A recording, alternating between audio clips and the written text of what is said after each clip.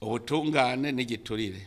Uno munsi abatari bake baratwenga kuko hari umutwaro twabaremuruye. Mu kurwanya akarenganyo twahaye uburenganzira abenegihugu bwo kwihamagarira umukuru w'igihugu atawundi baciyeko kugira ngo bashengeze uwo wese abarenganije. Kandi uno munsi abatari bake barakenguruka. Tukaba dukenguruka ko n'abahora batanga ingurire ngo indongozi zo hasi zirenganya abenegihugu ubu nabo nyene bacitse inkokora.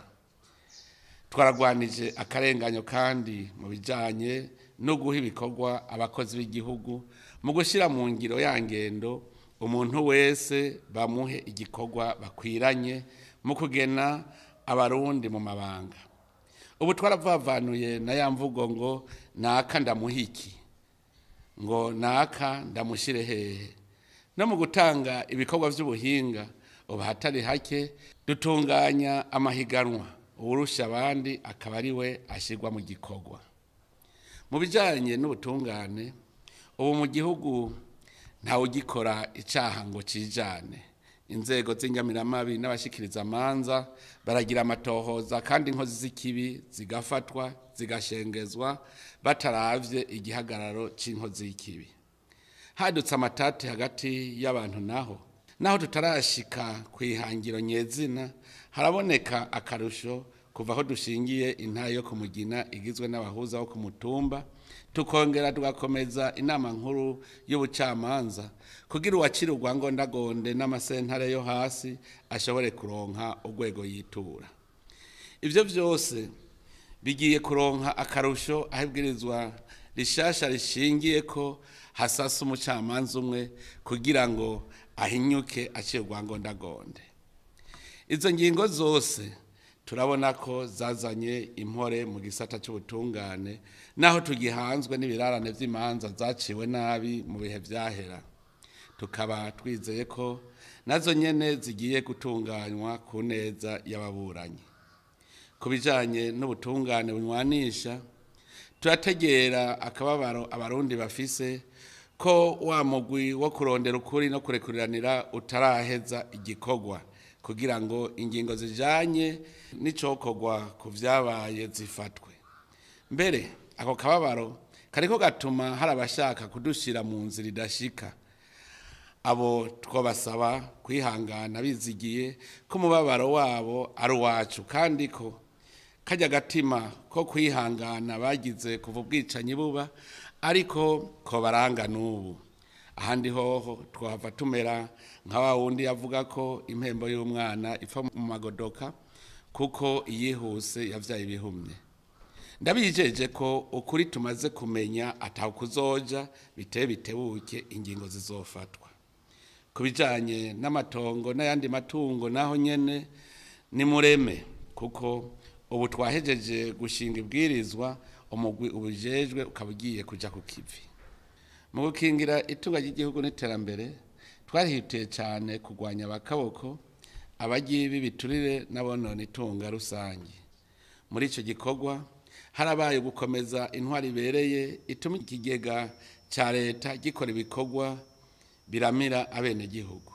Nicyo gituma twahinduye byinshi mu itunganywa ry'ibikorwa ry'ibanki nkuru y'igihugu yari igeze habi. Ubu rero naho hari abagifise agatima ko kuyigabanya ubushobozi biraboneka ko ibanki nkuru y'igihugu yagarukanye akanovera kayo ubu koko ni banki y'amabanki mu gihe yari yahindutse ibanki y'abikorera ibyabo tugitangura ikiringo.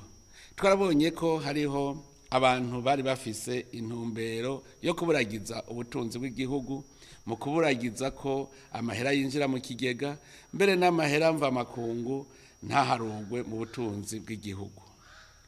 Urugamba rwo gusubiza ibintu mu buryo twarutunganije kandi rurabandanya. Intumbero ni uko amahera agenewe kwinjira mu kigega yinjira yose kandi agakoreshwa yose ku neza y'abenegihugu ni cyo cyatumye dutangura isekeza ryo kurwanya abantu bose bacisha ibidandazwa mu binywabi haba mu gushora canke mu kugurira hanze y'igihugu. Urwo rugamba rwo kugarukira ubutunzi bw'igihugu dusaba ko abenegihugu bose barereka ko ibidandazwa twashoye hanze bizana amahera mvamakungu ndetse ko n'amahera azanwa n'ingenzi zigendera Burundi ajya mu kigega cy'igihugu. Ni muri iyo ntumbero turiko dukora ibishoboka vyose kugira ngo ibigega vy'abikorera ivyabo mu gihugu bikingirwe. Urugamba rw'ubutunzi n'iterambere rusaba kandi gukingira ifaranga ry'u Burundi igikorwa gikomeye cyo gukingira ifaranga ry'u Burundi ni uko abarundi twese tuja mu bikorwa byo kugwiza umwimbu. Gutyo tugire umusesekara uzotuma dushora mu makungu. Ivyo bizotuma ivyimburwa vy'u Burundi ari byo bivamwo amahera mva makungu yo kugura ivyo tutiyimburira nico gituma dutera intege abarundi bose. Kugira ngo bashire imitahe yabo mu bikorwa birema ubutunzi haba mu guhingura isi ndimwa guhingura ubutare dufise gukwega kwega ingenzi canke gukoresha ubwenge imana yaduhaye. Amahera avuye muri ivyo niyo aha agaciro ubutunzi bw'igihugu. Ni muri iyo ntumbero mwabonye ko uburimyi twabugize amayeri y'urugamba rw'iterambere. Abarundi barafashe umwiyemezo wo gukora ibishoboka ngo umunwa wose uronke icyo ufungura umufuko uronke amahera. Ubutegetsi bw'igihugu nabwo mu guherekeza uwo mwiyemezo w'abenegihugu bwaragerageje mu gufasha gusahiriza abenegihugu mu gutanga ibice mirongo irindwi na bitanu ku ijana ku mahera boguza ifumbire n'imbuto.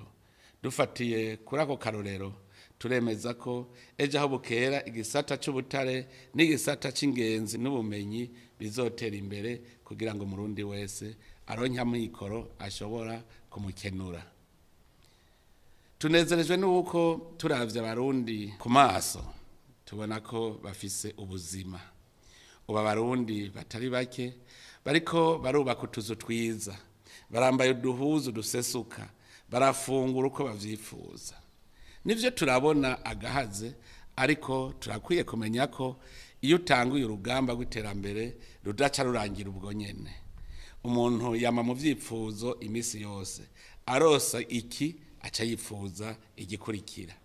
Mbere nka wa muvuzi w'inanga ni we yaharasha ati mbega umuhigwe kuri iyi si ninde?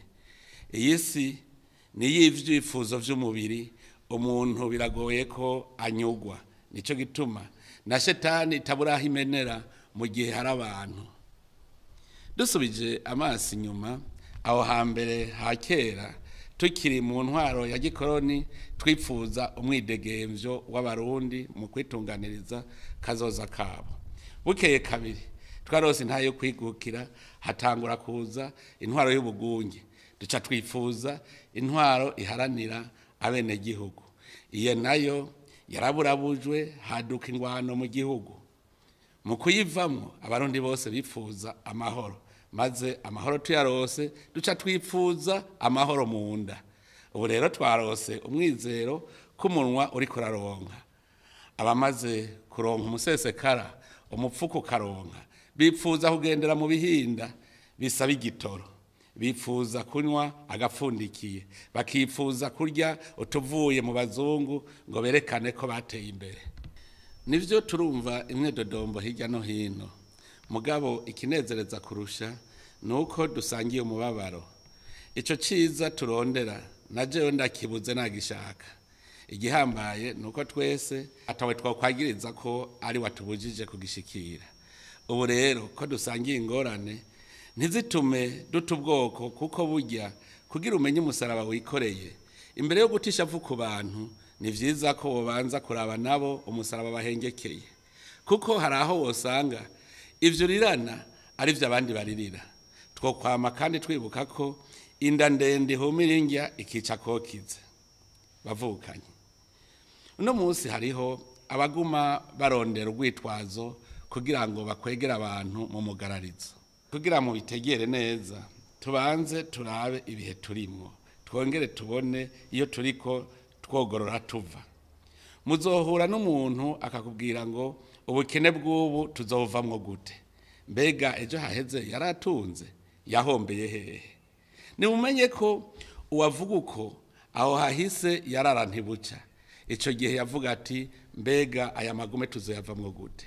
Ariko ubu yipfuza umudugararo kugira asubire muri ya magume. Tubimenye ko shetani ikosha kwica uwawe wamara kumwica ikigira ugasigara uriyicuza tugume twibuka ko turiko duhindura ibintu kandi namwe murabizi ngo atagapfuye ntagakira. Hariho abantu bari babeshejweho n'ubugunge bakajya iby'igihugu abandi barorera. Abo rero abo dutanguriye gusabika iby'igihugu bameze nka wa mwana w'imfura iyo akurikiwe atamutorana agatiro hariho abari babeshejweho no kurya ibyo abandi barondeye. None ubu uwabirimye ni wabirya aho kwiga kubirondera birabagora bagaca bashaka guta abandi mu rudubi nka ya nyabu yacika umurizo igacanura izindi zose kuyica ngo irazigora itwara. Hariho n'abahora bajya inama n'indongozi zibahebera bonyine inzira yo gutunga. None ubu tuzanye umwidegembyo wa bose birabagora kwakira. Mbere hariho n'abari batunzwe na politike yo gutungwa n'ibyicaro agatoki kabo kakaba kari karamenyereye kunyonora. Nabo kubatunga ntibyoroshye kandi abo bose ingorane zabo ntibazishyira hejuru ahubwo bazita iza bose ni cyo gituma mubona ibibazo bishyirwa ahabona ari ibibazo rusange atawe tubyagiriza ngo ni we aturiye. Hariho rero n'abandi batarira busema nk'abo twita babiryanguze. Ibyo tubibona mu ntara ya rumonge kubera barima ubwoko bumwe bw'ibyimburwa nabo icyiza barafise amahera bakura muri ayo mavuta y'ibigazi abandi nabo mu gisagara cya bujumbura. Nabo batunzwe n'isoko gusa. Bagize ingorane.